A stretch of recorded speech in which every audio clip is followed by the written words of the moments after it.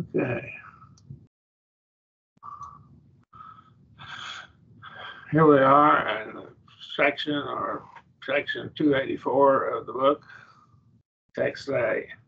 Were there any questions about what we covered last week before we go into this?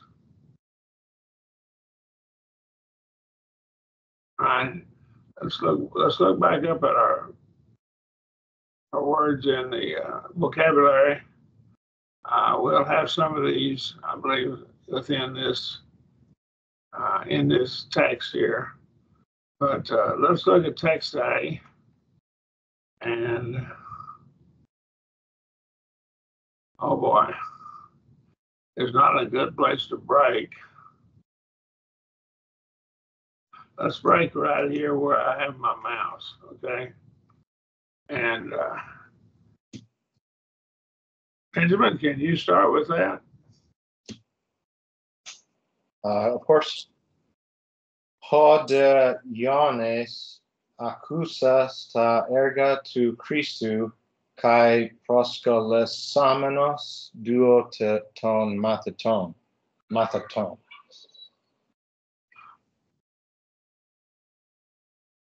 And you heard of John's works of Christ and summoning for himself two of the disciples. Okay. And he's and summoned And summoning, summoning. Okay, it's participle in it. So he, he summoned. So it was John who summoned, right? One summoning. Okay. Two of the disciples. All right. Uh, can you start right here and go down to here for us here, Bobby?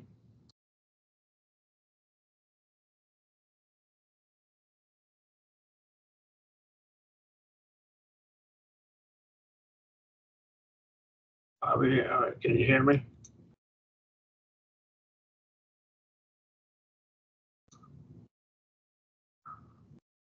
All right. Bobby, are you hearing me? he just left. Uh, James, can you take it? Go with it. Yes, sir. Uh, Epemson, proston, kurion, legon, stue, ho, erchomenos.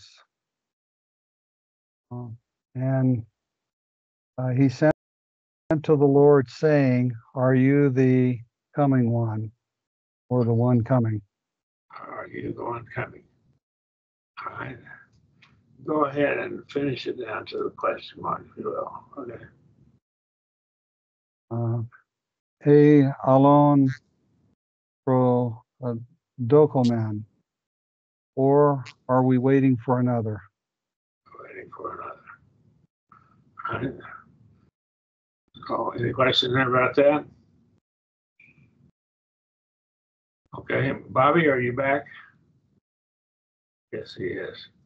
Uh, Benjamin, can you just take it down to the next uh, question mark down there? Sure. Paragenomenoi de pros auton hoi Andres eron- epon iones ho baptistes apestelen hemas pros de legon su e ho ercomenos. Uh, the men arriving for themselves to him said, John the baptizer sent us to you, saying, Are you the one coming? Again, it's another question. isn't it? Okay. Yes, Bobby's not back yet, is he? He's just returned. Yeah, I'm back. My, He's it back. froze. Okay. We're right here, Bobby. Where, the, where it is. Uh, can you go all the way down to here? From where the mouse starts here, and I'll highlight it. All of that. You're on, num- you're on the second one, right? Yes. Uh, Can you see what I've highlighted? Well, I can't see. Wait just a minute, I'm getting down here, Kai.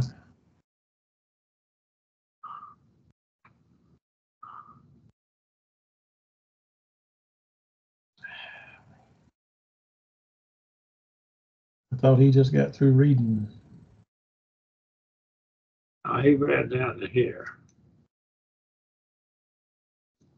Okay, maybe I'm get, I'll get there. I got it somewhere. I've highlighted what's, uh, if you could read what I've highlighted. Well, I'm on two eighty-four. What in the world? Okay. Okay. oh, This is from the fourteenth chapter of Acts, I think. Well, well, I'm not able to find you for some reason. Let me get, oh, here it is. Here, I got it. I got it now. Hi on the left. Yeah. Cada elefantes tes pis acidin e elthon es tes pam oh that's that word um, pam fulion ca lelesetes in perga ton logon kata basin ace Italian. And having passed through Pisidia, they came uh, unto Pamphylia. And let's see, and having spoken in Perga, the word, they came down into Attalia.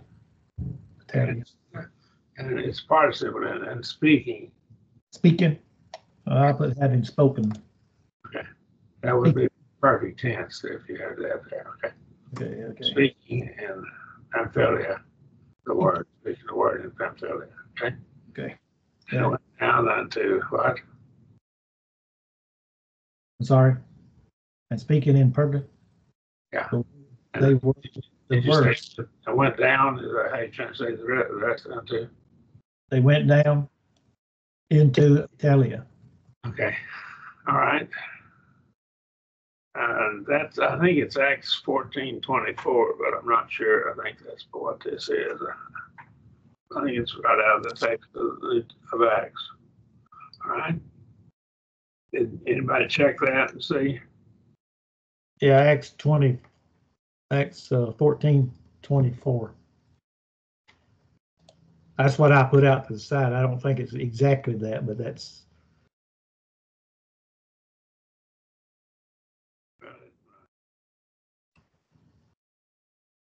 This is pretty much the same. Crasis is where they put. Yeah. Two or more words together, okay? And this is three words put together, right? All right. I'll see, uh, who we back to, Benjamin or, or James. James? Okay, James, can you handle this? Yes, sir. Okay, then. A pep luson. um, Ace. Antio crayon. And. Antio crayon. Uh, and from there they sailed away into Antioch. So they sailed away to Antioch. I think this is pretty much, maybe some changes, little changes, but it's pretty much what we have in the fourteenth chapter of Acts.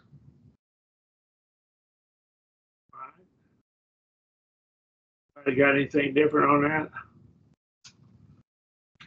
Okay, Benjamin, can you finish it out for us? Paragen, paragenonymoi da kai synagogantes ten ecclesian anengelion, e- eh, anengelon hosa epoiesen hotheos metalton kai hoti enoixe ethnesi thuran. Uh, and arriving for themselves and having brought together the church, they announced how much God did with them and that he opened a door to the nations. So he opened the door to the nations. The nations would be the Gentiles, see? Okay. That's another word for Gentiles. All right, any question there? Back and reported to what they, what had been accomplished. All right. Now, uh, do y'all want to do any of these text B? Or you want to move on to the next lesson? Um, I didn't get number seven. Yeah. It might be, might be some corrections made, or you had trouble with one of the words or something. Uh, kind of in general with the whole idea behind it.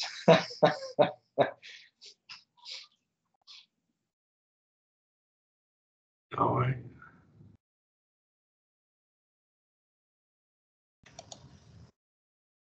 Okay,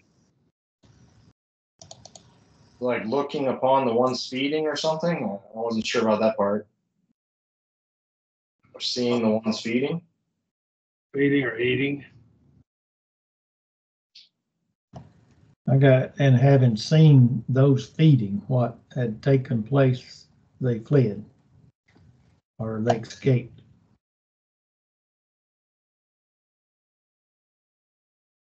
But What- had- What was the last part you got?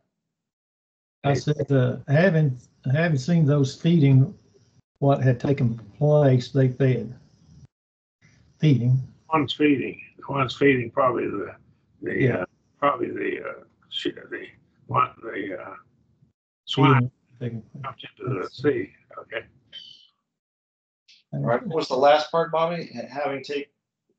Yeah, I said, uh, I said had taken place, they fled. had taken place, they fled. They escaped. You can say they have the escaped. Didn't take place, they escaped. I'm not, I- I guess I'm not hearing it in my mind how that makes sense in English. This is, they fled. They ran away. Yeah, they fled. Oh, so maybe, and, and it happened or something? It happened that they fled? They fled. Uh, yeah, it's it's aorist, isn't it? That was the part that was confusing to me. I didn't know how to get that in uh, English. I, got, I I jotted down Luke eight thirty four. I don't know if that's right or not. I was playing around about uh, about that. So about the uh, had taken place. I was having some problems. So Luke eight thirty four. I think. Let me look.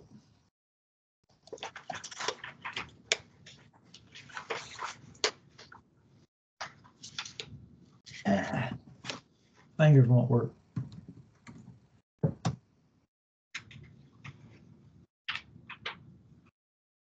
Well, it's changed, I think, there.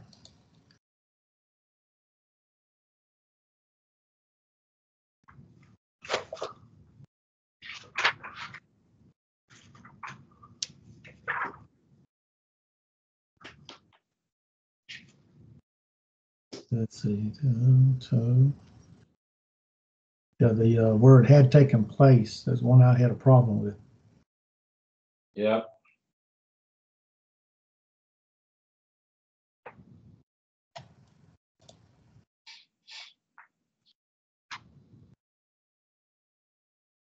That's aorist.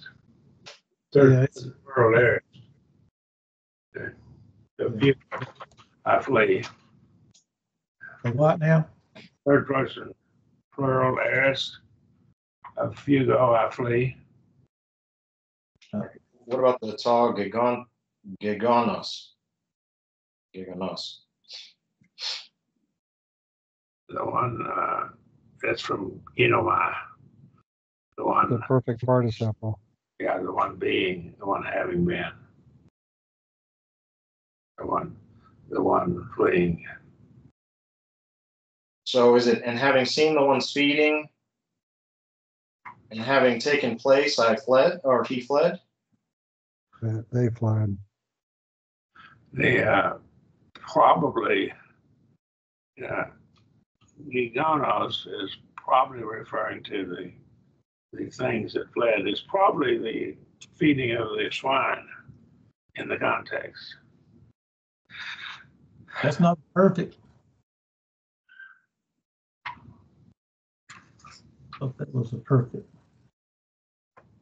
What, what's that, Bobby? Uh, the, uh, Giganos. Gaganos. Yeah, it, it is perfect. Okay, Perfect participle, active, accusative, neuter, single. Singular, excuse me. okay. I thought that was right. So having taken place, they fled.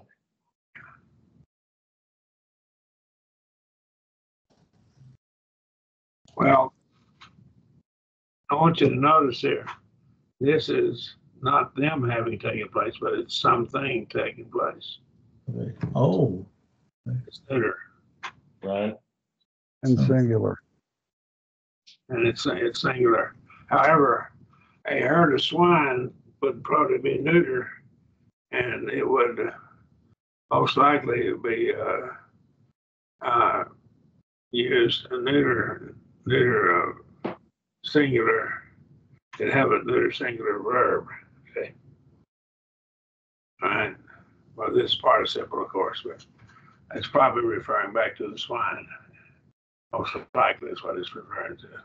And what, what passage did you say that was from? uh, Luke eight thirty-four.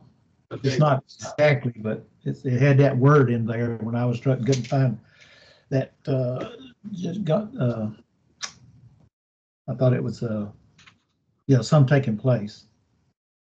Let me get out, I'll get out of this. And We'll look at Luke eight thirty-four, okay?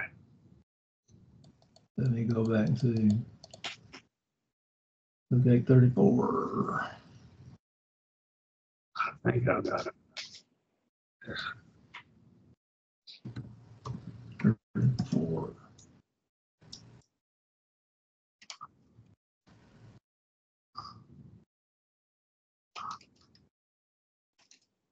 Let's see. See the text here? Yeah, Eight. be thirty-four.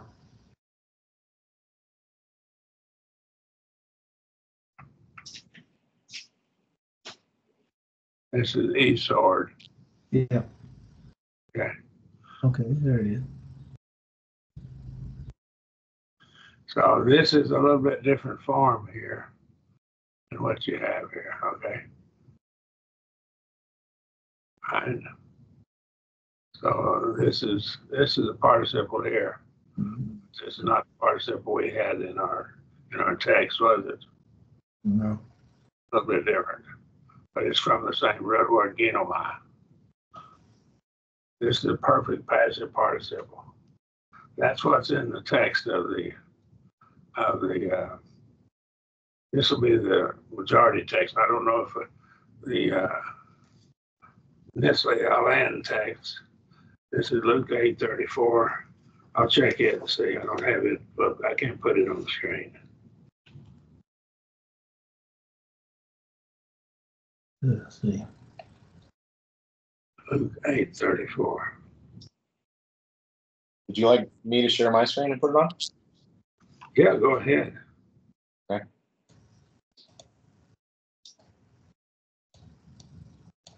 If we can see it or not.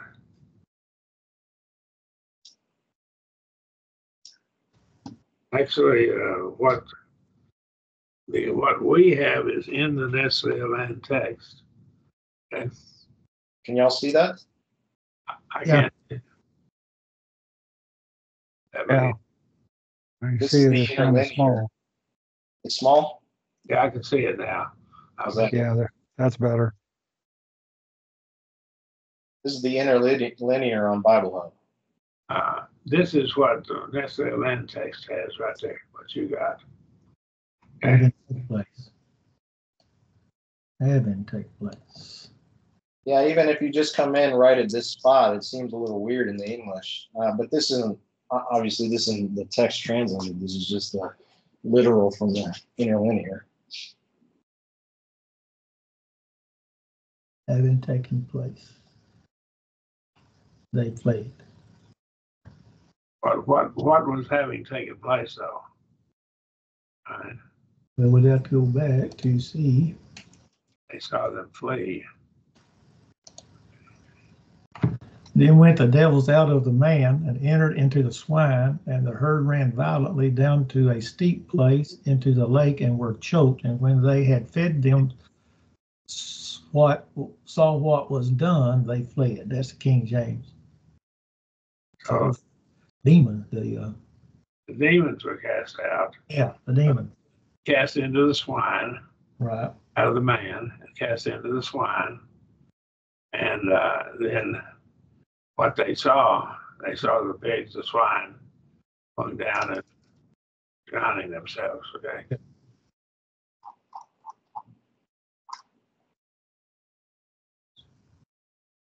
And those who fed them saw what had happened.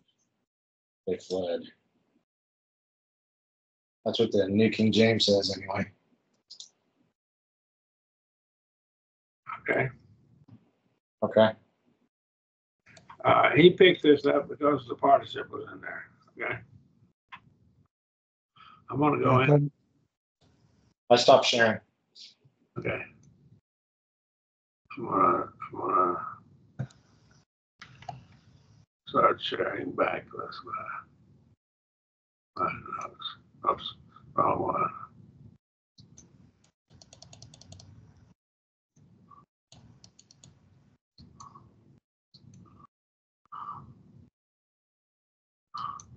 All right, can you see it still? Yes, sir. Yes, sir. Okay. Any other things you want to look at? It was interesting, the ellipsis, them, being added, because the participle here, it seems to me anyway, uh, boy, bo, scontes, The ones feeding. the ones feeding, and then it, the translation was as if the ones that were feeding them, as in the hogs. But, but this doesn't quite say that. You almost have to pick it up as an ellipsis from the prior material versus.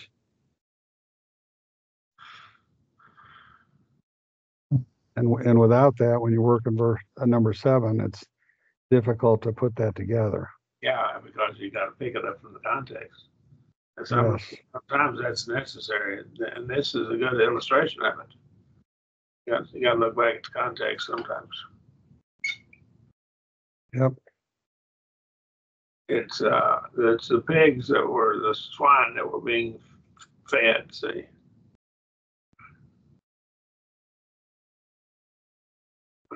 And they fled.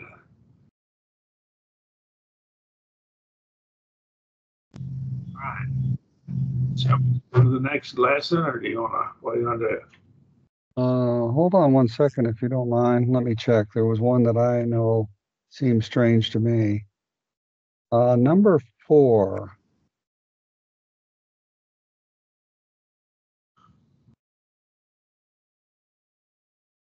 Or no, no, it's, uh, number, number five.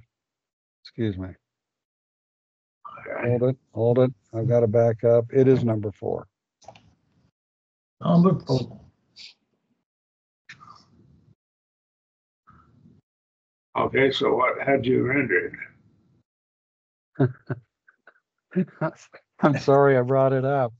Uh, I rendered it as, uh, now this sinning unto the brethren, you sin unto Christ.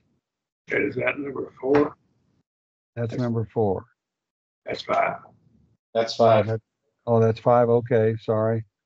Thusly, in that manner, sinning against or toward the brethren, you sinned against Christ. Yeah, the ace, uh, you're translating that as toward or against. And I went, I went and looked it up and did not, s- saw the Bible verse associated with this. I went and looked it up and found it and it did have it translated as against for ace. But that didn't make any sense to me. Uh, Kata seemed to me to be a better choice. Sin, sin is directed at the brother. It is toward the brother. Okay. Yeah, at would seem to make more sense than against. From a translation perspective, I'm- I think. So it is directed at him. I think that's right out of the text of the Bible too.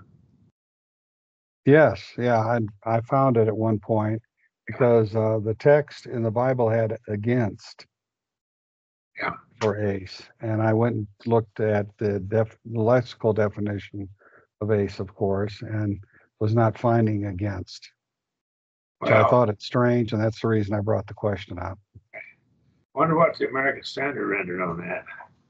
Uh, It'd be interesting to. I don't remember what verse this is. I'm sorry. First Corinthians eight twelve. First Corinthians eight twelve. Yes, sir. Yep. Mm-hmm. Yes, New American Standard says, and so by sinning against the brothers and sisters and wounding their conscience when it is weak, you sin against Christ.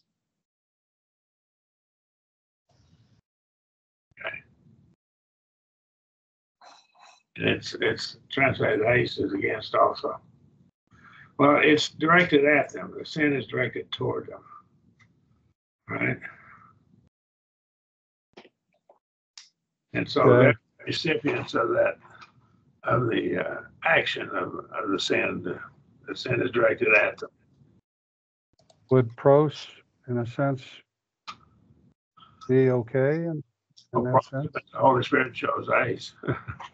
Well, no, I, I, I agree, of, of course, but So, but I think there's a difference, a subtle difference is, uh, it is that the sin is directed at, toward them.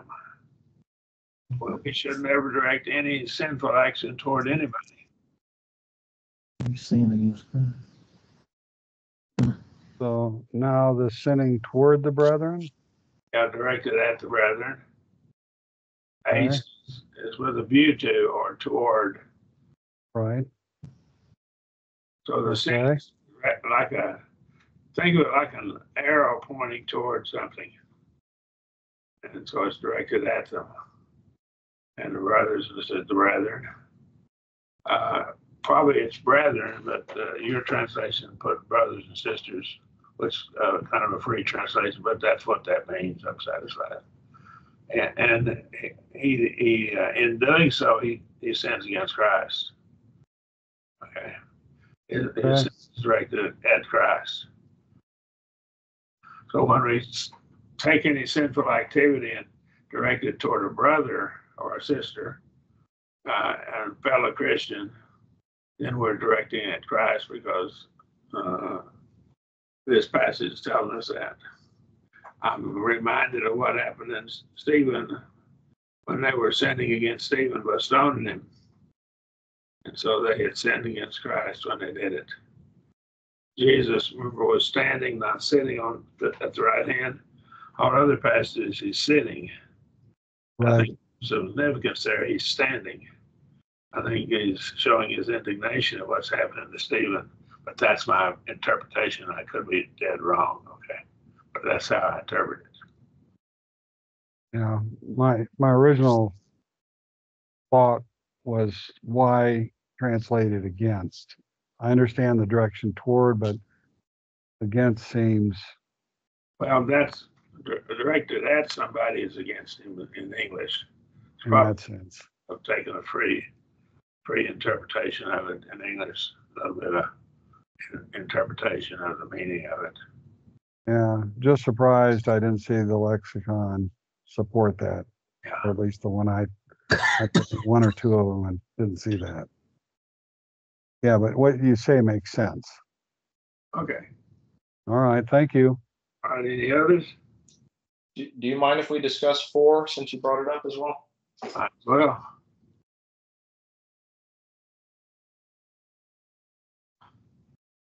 I said, to him who reckons something unclean, that is unclean. But the last part threw me off because it's got the demonstrative or whatever, that, and then unclean. So just that unclean. To the one reckoning or determining that something it is to- be unclean. Notice the infinitive. You reckon something to be unclean. To that one, uh, it is unclean. And so it's elliptical. The word it is would be in here. Implied. Right? And the one who reckons something to be unclean, to to, to him, it is unclean. If he thinks it's unclean, it is unclean to him. Or actually to this one, he kind of, So the to him, you're saying you would say it, who reckons something unclean, to him it is unclean. yes, So the to him portion should should come after the comma then. uh, what, what, should come after coming now? The to him portion. Yeah, that's right there, to that one. And the word it is, is, you know, it should be in italics where I have my mouse. Him it is unclean. I think that's right out of the text of the Bible too. You think something's unclean, it's unclean to you. And it may not be that God said it's unclean, but I think I think we can limit ourselves by our misinterpretation of God's word. Uh, let me illustrate this. Uh, it's like a goat. We gotta, we, we want to let him tie a stake in the ground and put a chain around his neck. We got a 50 foot chain. And someone says, well, I, I think he might get over in the flowers. So I put an extra, I'm going to put him into 49 feet. But he could have, he could have eaten up to 50 feet, but we limited him. My thinking that something is unclean, for instance, if I thought it was unclean to eat meat sacrificed to idols, then to me it is unclean. And I need to learn that God has allowed me to eat that meat if it's sold in the meat market. I'm not going to eat it uh, if I if I think it's worshiping an idol. But eating eating meat that's been that's been bought at a store, a grocery store, it's owned by a non-Christian, doesn't make the meat unclean. Okay, but if I thought it was, then I, I should be doing it. And there are some in the church that think a woman has to wear a head covering over her head when she worships. And if they think she should, then she should. That woman, if, if a woman thinks she should, then she needs to cover it because she doesn't need to violate her conscience. But she needs to study and learn that it's not, uh, you need to learn the truth on that subject. Does that make sense what I'm saying? Yes, sir. I, I looked at, that's- go ahead. Go ahead, Bobby.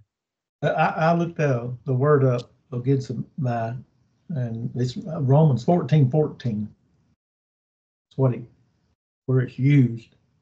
And it says it used toe. And then T koinon, ene, ekno, koion, koina. It's, let's see. It's exactly like that in Romans fourteen fourteen.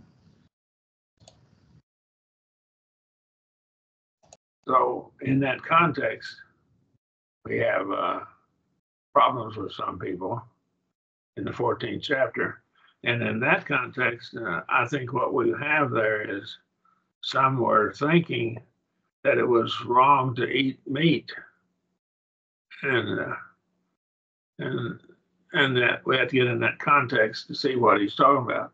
But we went through this in, uh, in the study of Romans and uh, there's a, I've, I've put this up on YouTube. We have 13, 14, 15, 16 chapters when we went through them in the class.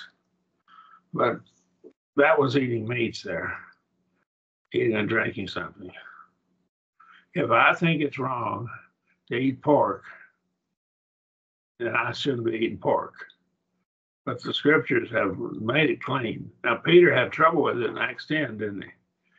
And he was, he'd been a, I think he'd been a member of the church for several years, and he still had some wrong thinking in his mind. Lord, I've never eaten anything that's common or unclean. And the Lord says, What thou cleansed, not call not thou common or unclean. See, now I think this is koinos is, is this word. It's koinos here, but I think the koinon is the, I think it's a neuter ending, okay? Right, adjective. So Peter had that problem. He had to, he had to have the Lord reveal to him. And this, in that context, it was, he was talking about animals, but uh, the point was that people had been cleansed too, the Gentiles were cleansed, and the gospel that needed to be preached to them too. I think this is when the gospel first began to be preached in Acts 10. Very, and I think the same word is used, koinon, koinos. Okay. Does that help? I don't know. Yes, sir. Helps me. Benjamin, you got any comments there about that? Yeah, just one more question, sorry. So we came up with to the one who reckons something unclean, to him it is unclean. The one who is elliptical. uh, to the one, it is a participle with an article. And a participle with an article functions as an adjective, the one reckoning, something to be unclean. So this right here, these first two words would be translated the one reckoning. I see. Participle with an with an adjective with an article is always functions as an adjective. The one reckoning something to be unclean. To him, to that one, it is unclean. And uh, it is would have would to be elliptical over here. Before between right where I have a where I have a house. That helped a lot. Thank you. All right, and that's, uh, again, is, that was uh, 14th chapter of Romans. And, Right, any other questions? Very good questions. And uh, it helps us a bunch. All right, others down here? All right. I want to move on to the next lesson. This is something that I think is very important. It is very important. Um, and we have in first, in Romans 14, uh, 8, I'm sorry, verse 27. Uh, we don't have this, but we could have it. This, there's three ways that we can have someone doing something. We can take a finite verb and it takes its subject in the nominative case. Right? It'd be a nominative case noun, or it could be an, it could be an adjective, okay? So the subject could be in the, it's in the nominative case. And that's, we'll take a finite verb. And that's one of the first things we covered was finite verbs. Then we learned that an, an infinitive could take, it could become, uh, it would take a accusative case noun as its subject. And they use a little bit different term for it, but it's like the subject, okay? So we could take a sentence, we could have someone doing something, and then we could have a complex sentence. We could say, John hit the ball, and then we could have the ball doing something. The ball got hit, see, it's a direct object. And then we could have the ball, and the ball broke the broke the window or the ball, the ball hit the man, or the ball, the ball broke a window or something, did something like that. And in that case, we use an infinitive in Greek. So the direct object, the ball, would become, it would be doing something. So we can make a much more complicated sentence that way. The third way we can do it is we can take a participle, and that's why he has this genitive absolute here. And so we have here It's a supplemental participle. It supplements. And I want you to be aware with that file that I sent you, uh, Greek grammar and, and uh, syntax, grammar, lexicon and grammar notes file. Uh, you can look under genitive absolute, do a search for it and find more discussion of it. So this probably would be good to you get into that file before next week. Look at that file. Right? And uh, right here, this is an example of genitive absolute. And Christou, Parthontos, Sarki, Kai, Humes, Tain, Atain, in Helion, hope start. So therefore Christ, okay, suffering and ha- has suffered in the flesh. Right? And you, the you yourselves with the same mind. You have the same mind. Right? Uh, you arm yourselves. Uh, hopla, that's an armor for the part of the word for armor. Okay, so what we have, what, what this right here is your genitive participle. And so Christ suffered in the flesh. So the genitive absolute is one of the most common variations of circumstantial participle in the genitive absolute. It, it's a temporal, causal, or conditional subordinate clause. Any other verbal idea. It's added loosely to the main clause. The word absolute is from the Latin absolve, which I loose. It's loose from it. It's loosely attached to it. That's what that means. Subject is put in the genitive case, and the verbal idea is expressed by the genitive participle depending on it. Let's look at it here. Genitive case there's the genitive case now, and it becomes the subject of this participle here. So, so there, Christ, and this is right, right out of First Peter 4 1. So we have that there in that context. Now, my point, and I'll ask you to look into my notes on Romans 8 uh, 27.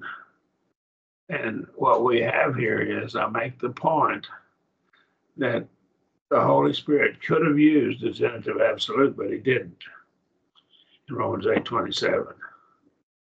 And I, I want us to probably look at that next week. I'd like for us to look at that verse. Um, if you have my book on the Holy Spirit, uh, that would be volume one. Uh, you can look in the index, scripture index, and find where this verse is discussed. But my point is, the Holy Spirit could have used this form and had he had that as an option. And the Apostle Paul had used it in other places, so it wasn't a fact that Paul didn't know about it. And yet he did not use that form.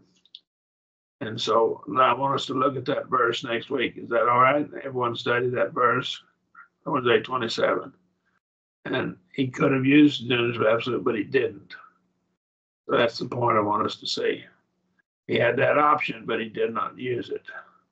And so we can't argue that he, he meant that to be the genitive to be the subject the genitive can become the subject as it is here if it has a genitive uh, participle. Does that make sense what we're saying?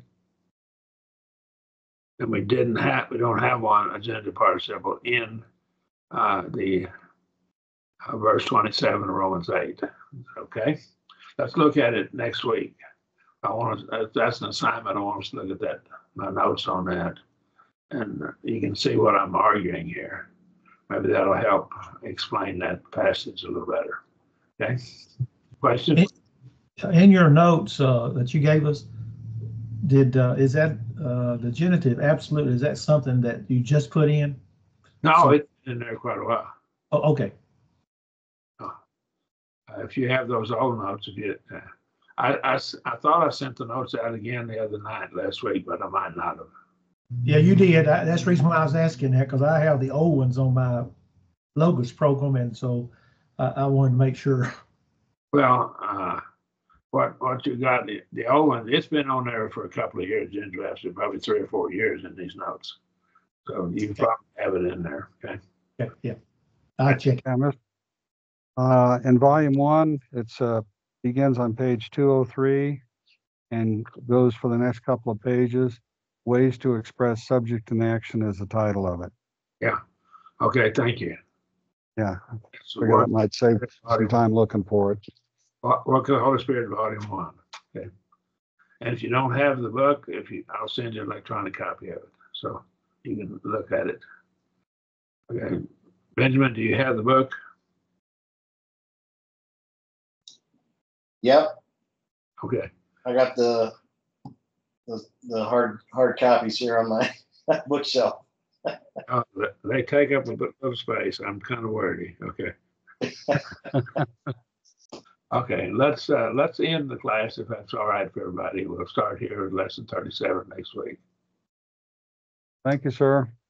Thank you for your attendance in class. Thank you, thank you. Have a good one.